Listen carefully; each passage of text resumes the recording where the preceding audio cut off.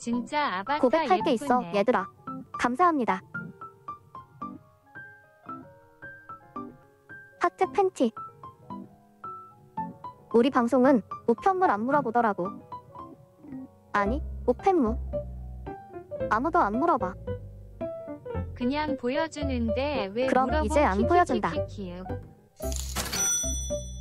그래서 팬티에 하트가 어디에 있어요? 여기.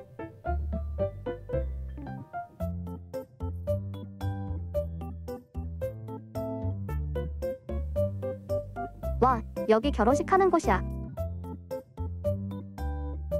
나랑 결혼할 사람.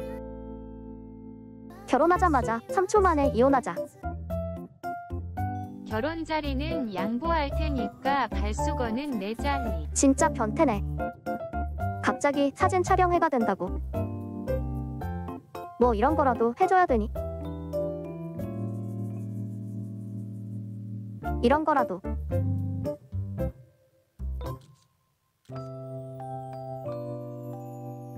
호.